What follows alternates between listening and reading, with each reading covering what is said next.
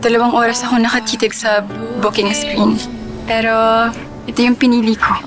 You booked a private deluxe room for one? Yeah, for, for one.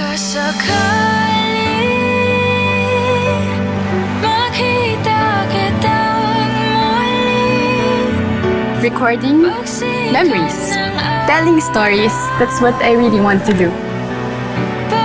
Ang hirap talagang gawin, pero pag mahal mo, gagawin mo.